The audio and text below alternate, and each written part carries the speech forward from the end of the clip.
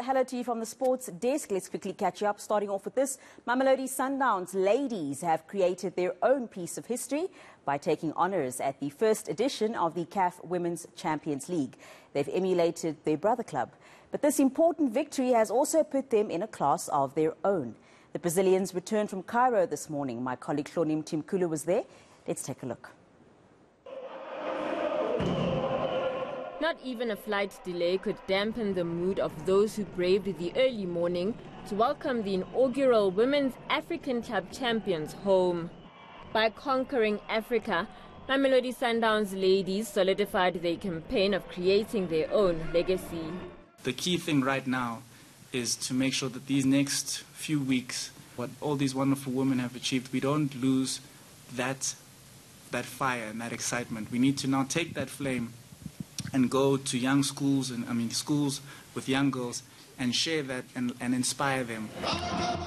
Unbeaten since 2018, continental success could now open doors towards elite football for many of the club's players.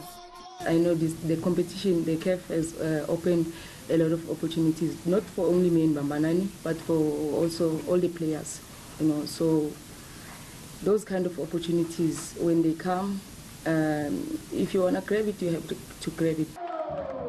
Sundowns' free scoring form was reined in during the competition, but this challenging environment has made the team hungrier for similar opposition. It was an acid test, you know. Uh, it would be nice for us to to have that kind of a competition on a on a weekly basis, you know, so so that even if we go out there, we don't get to be surprised. The club's chairperson has committed to paying out bonuses but says they wait on CAF to confirm details around the competition's prize money before making any announcements. Shonim Timkulu, Kempton Park.